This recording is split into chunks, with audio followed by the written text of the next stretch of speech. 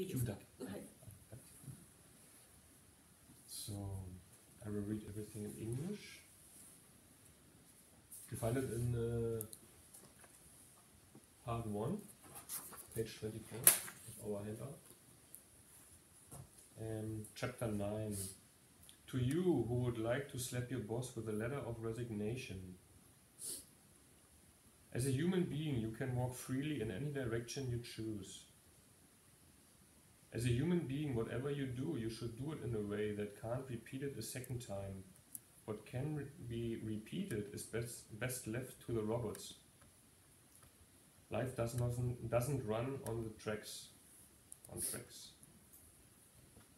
Birds don't sing in major or minor. Bodhidharma's teaching doesn't fit on lined paper. The Buddha Dharma is wide and unlimited. When you try to hold it still, you have missed it. It isn't dried cod, but a live fish. Living fish have no fixed form. In the soldier's handbook, it says that in war you must be prepared for a thousand different possibilities. That doesn't just go for war. There is no rule book for life either. And you try to live your life according to a manual, you are sure to fail. For a court case as well. It goes without saying that you have to be on your guard when everything runs according to the book. The wild geese leave no traces, yet no matter where, where they fly, they never lose their way. There are no footprints on the way of the bird. It's not the same as a steam engine that runs on tracks or an ox well worn path. Don't we live life from moment to moment? How could we possibly take life, analyze it, systemize it, systematize it, and file it away? The sad thing about people is that they can't stray even a single step away from their habits. Those who do things according to the book are failures. We constantly let ourselves selves be distracted by details, and in this way we lose sight of the whole. We buy strange things that we don't want at all and hope that we just might win something with a lottery ticket the cashier gives us for free. Actually, studying means gaining insight into life. Since the Meiji period, however, it's turned into a matter of getting a qualification for professional life. However much you accomplished in this life, you can't present any of it at the last judgment. You will die naked. In the world, isn't what we call good or bad, true or false, more or less the same thing?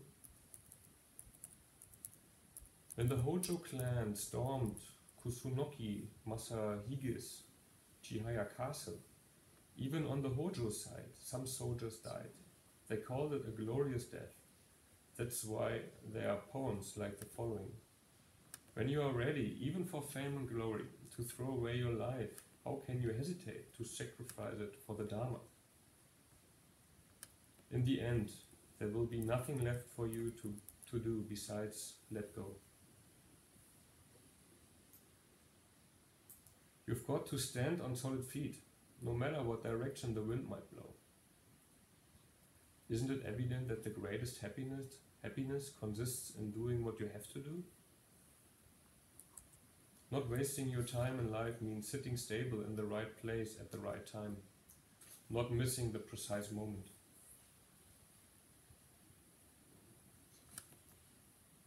Your life shouldn't be just one defeat after, after the other, constantly on the run until your last hideout is found.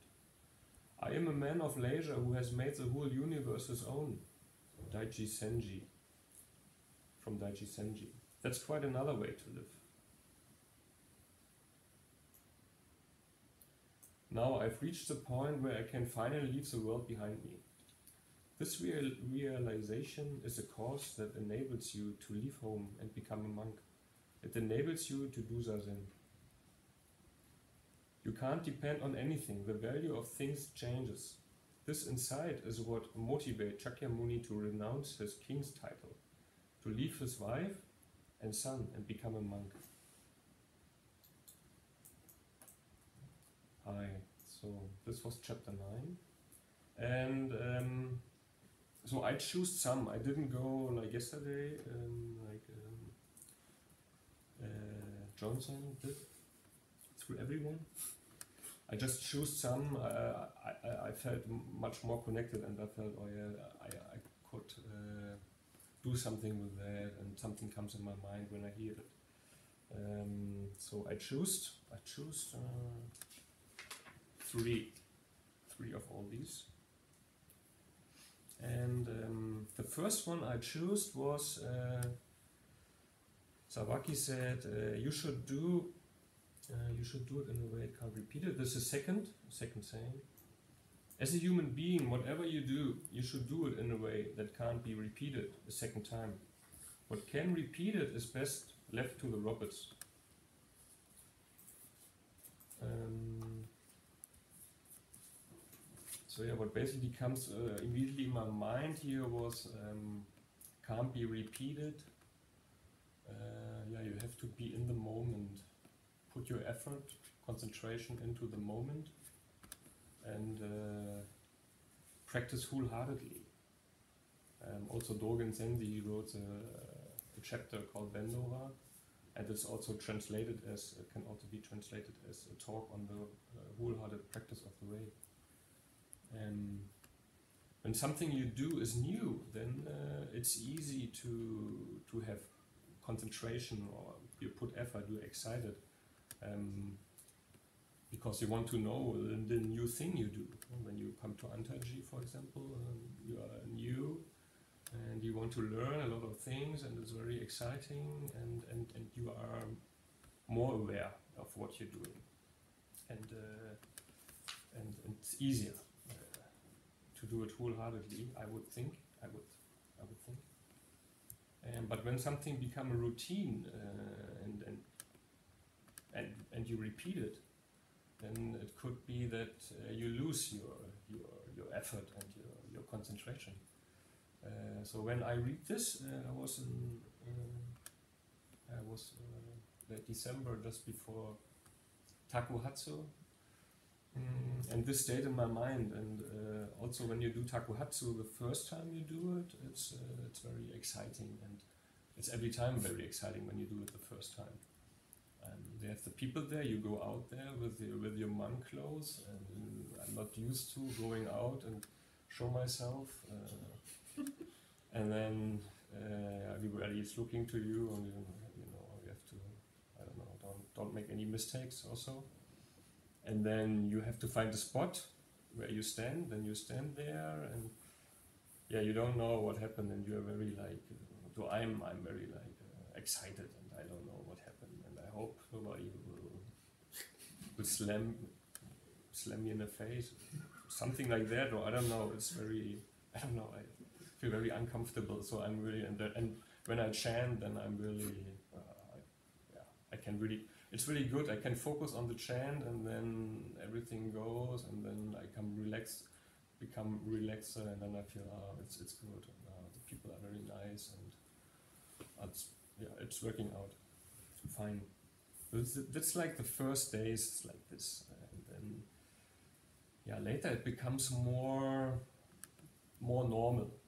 The beginning is always exciting when I stay, but when I stay later when I stay, I know okay the chanting, and then you repeat the chanting, and you have a good feeling. The first days you chanted, uh, um, yeah, you yeah you have a good feeling. You feel like yeah, this is good, that sounds good, and uh, I think I do I do it good here. So and then you just repeat it and repeat it. And what, what I what I noticed myself was that I uh, was wandering around with my thoughts. So I was there, I found very comfortable. I was chanting, and then at the same time, I was thinking about tomorrow or uh, about uh, yeah, what can I do on my day, day off? Tomorrow is my day off. I, I can do this. This was all happening while I was chanting. So uh, and then, but it didn't feel right.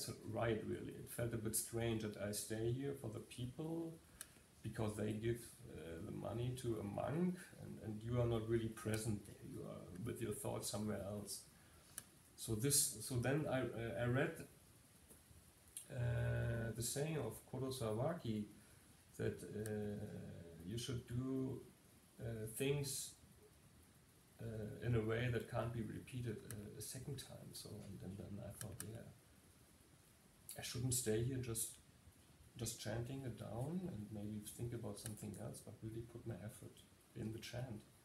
And uh, and I felt like it's much more powerful also in yeah it's more yeah, authentic and also the connection to the people is it's better so yeah I think in a way this um, it was a good uh, good reminder of uh, even if even if it's um, a routine that you have to be careful not to it's really easy to to uh, to wander away and, and lose your concentration uh, when you do something and you feel very comfortable doing it.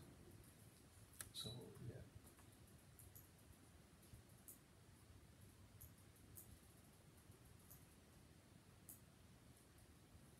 So another thing saying from Kodo Sawaki I choose is um, the sixth one, sixth on page twenty-four. The wild geese leave no traces Yet no matter where they fly, they never lose their way. There are, foot, there are no footprints on the way of the bird. It's not the same as a steam engine that runs on tracks or an ox well-worn path. A wild geese leaves no trace. This leaves no trace is, uh, I heard, so at first I think this is uh, from Dogen, uh, what he is uh, quoted here. I'm not sure really where it is exactly. Probably maybe in the Shobogenzo, I think. I just found that it's uh, it's from Dogen, a quote. And I often read that. I, I, I often uh, wrote wrote uh, read read. I often read this uh, "leave no traces" in other books and so and they explained it, but I never really understand or I never really looked uh, more deeply behind it. Um, so what I found easier to, to understand was uh, they never lose their way. Wild geese leaves no traces, yes, no matter where they fly, they never lose their way. I was thinking, okay, wild geese, um, they are flying, but they are kind of their way, so they have, they will know where they want to go. They want to usually from the north to the south, in winter and uh, probably in, in, in, summer to the north. So they have a direction. And uh, but they don't have like a train. They have not a rail, not really like a fixed path where they know, okay, I have to just stay here and then I will reach my goal, reach my destiny. And also the ox uh, who's walking on the path. He has his path. You just can follow the path. You don't have to think about or something. But the geese or the wild birds, how do they find their their way? So usually birds. Uh, so probably the birds they have some some inner they they, they feel something. They have an inner knowledge. They feel something, so they follow their feeling.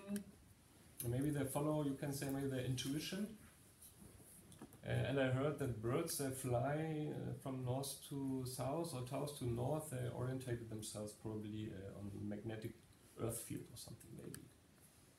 So, but basically they have to look inside and yeah, and get in contact with their intuition, and then that makes them staying or that makes them becoming uh, uh, on the becoming yeah, reaching their goal and staying on the way.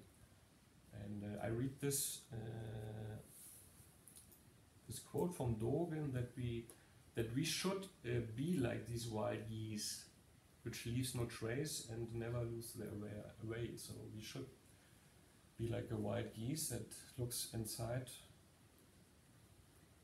uh, himself and finding out what's the right way.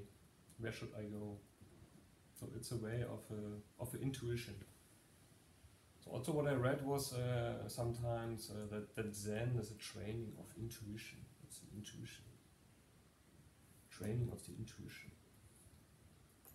So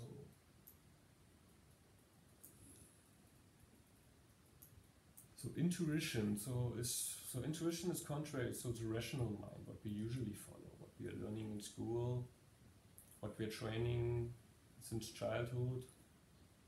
So intuition is something we have to yeah, feel inside of us.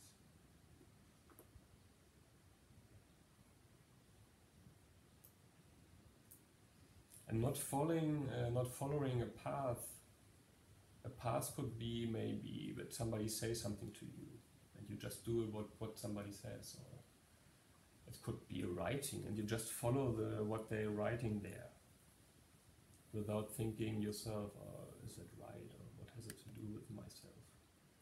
So but at the same time um, the, but it doesn't mean that maybe you shouldn't read anything because maybe reading can also uh, um, get in contact with your intuition.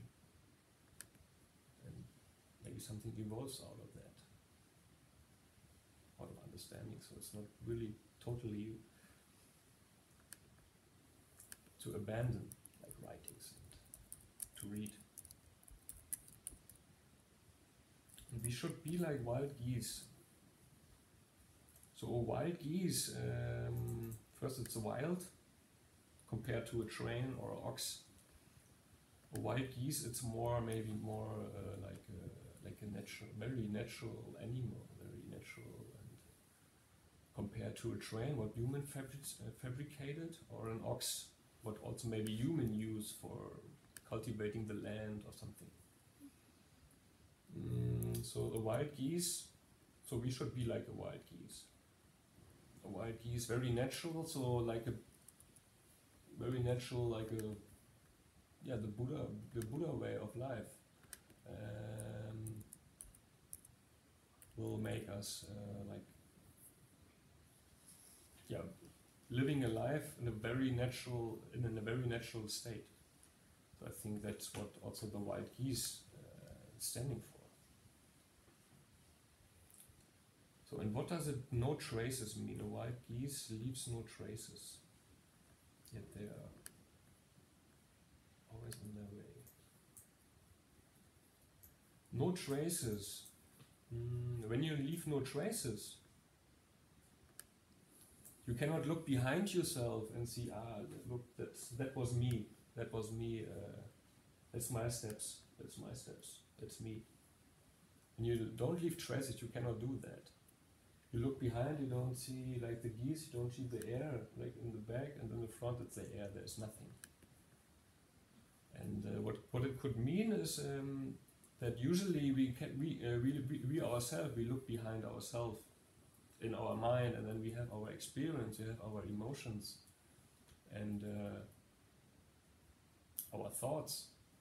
And we compare it and we have it still here and we compare it to what is here and and, and we think about oh yesterday I was like this today I was like this and and you are kind of comparing and you're identifying with your old uh, old emotions and old thoughts and you and by this you have this kind of trace behind you and by this you create this kind of uh, yeah this me. It's me. I was yesterday i was like that. Last year i was this. This is my picture. So that's our usual usual way of of, of uh, yeah viewing ourselves and uh, yeah, Dogen says uh, we should be like wild geese, uh, leaving no traces. So actually, yeah, letting go of these past emotions and, and thoughts about ourselves. Because actually what we have is only this moment, right now here. So I think that's a that's a finger point to yeah what's our life is, what our life really is, and not what we think it is. Yeah, what we usually live in.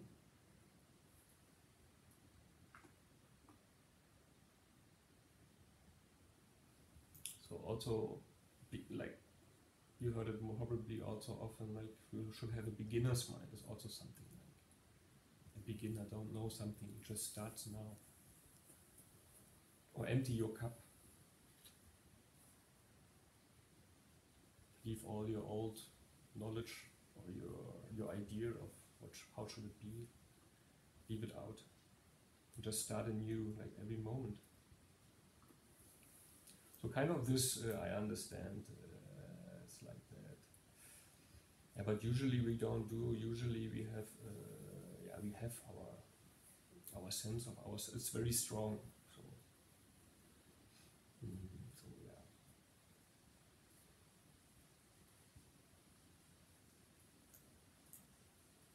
Usually we follow uh, an idea in our life and uh, we have expectation where life should lead us. And uh, similar sayings to this uh, Kodo Sawaki says uh, also in this uh, chapter that uh, life doesn't run on tracks so it's kind of the same you follow your intuition you don't the track you don't you don't have really a track or you shouldn't stay on the track. Um, when you try to live your life according to a manual, you are sure to fail. Those who do things according to the book are failures. Sad thing about people is that they can't stray even a single step away from their habits.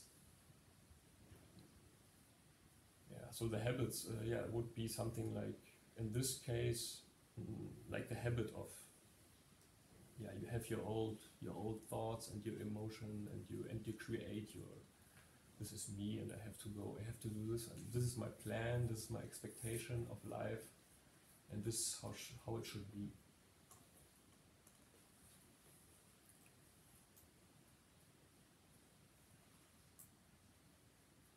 okay next saying page 24 uh, 5 is the 17th saying Isn't it evident that the greatest happiness consists in doing what you have to do?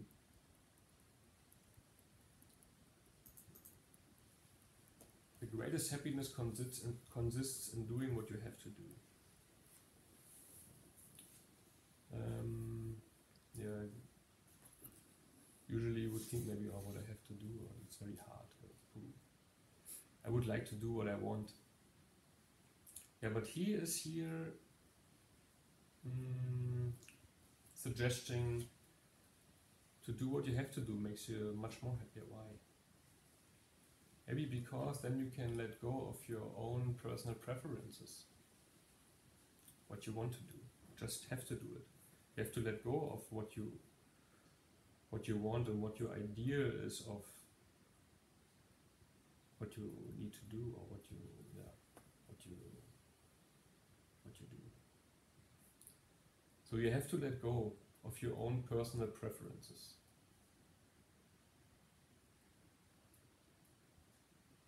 You have to let go and just forget about your happiness. Usually we are the other way around. We're looking for what, what makes me happy, and then we try to out, and then we try out a lot of different things, and then we do it, and then yeah, that's probably not that wasn't it. So we look around somewhere else. But maybe the best thing should be just do what doing what you have to do and forget about your happiness.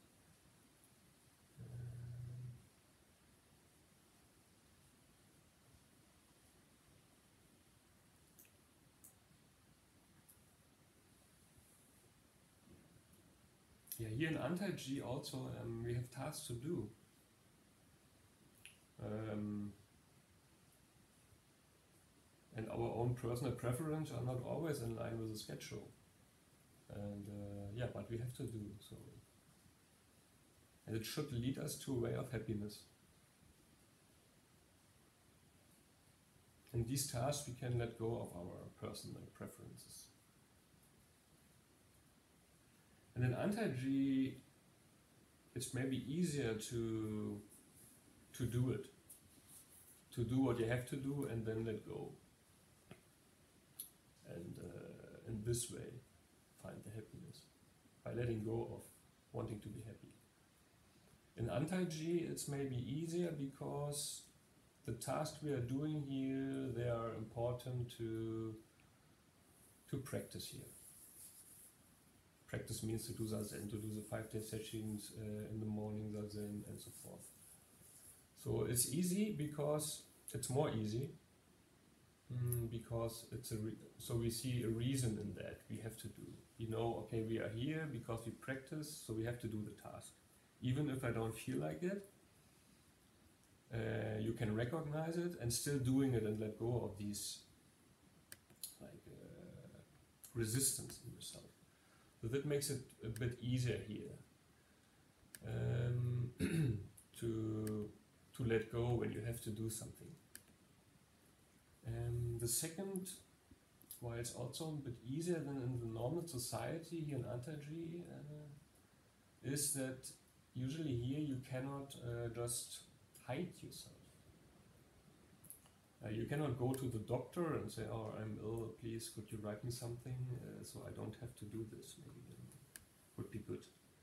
Or, or even you cannot go to your friends and, and or other people, and then you can complain about the situation and uh, uh, maybe build building up something like you are here with your friends and there is something that is that you don't want and uh, you have to but you have to do it and there is and you build up even more uh, resistance to that. So that's that's not so possible here. So and uh, yeah. So i think Antaiji in a way is it's it's it's not easy but it's easier to do this what what also Sawaki Roshi uh, here recommends to or he says that uh, isn't it that happiness comes from uh, something that you have to do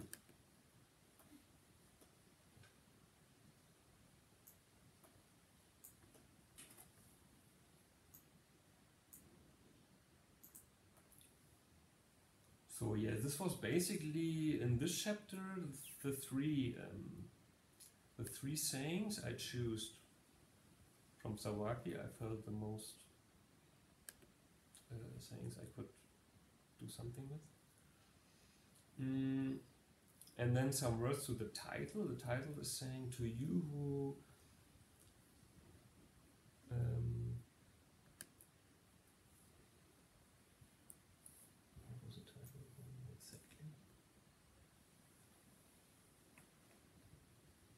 To you who would like to slap your boss with a letter of resignation. What has this all these things to do with this kind of title? So I thought, so when you, for example, we are here in Antaiji and your boss would be Docho-san, and uh, and you are at, at the point where you think like, oh, I cannot, I cannot do it anymore. So maybe because you're, yeah, you have an idea uh, where you want to go, or you and, and, and it's not fitting here really. So you're you're on a track of your life, but then you feel like oh this track doesn't fit with this place anymore. Mm, and then maybe you think oh no, I maybe have to leave. Mm, or you read uh, again like Sawaki's sayings and think about it. Oh, should I leave or not? Maybe it's better to maybe not sure. So Docho-san could be your boss, and you could have this letter of resignation you would like to just slap there. And do you have really what? What is your reason when you would like to do it? Is your reason really uh, that uh, important, or is it? Yeah. So just yeah, that could be. Mm, yeah, the title I think you could could use it in uh, you could use it in this way. Also, what you we are here having having to do tasks which we have to do, and, and in these tasks you can you can try to let go of yourself and, and find in this way kind of happiness. And uh, yeah, so you could you could think, maybe it's a good thing to do, not to resign.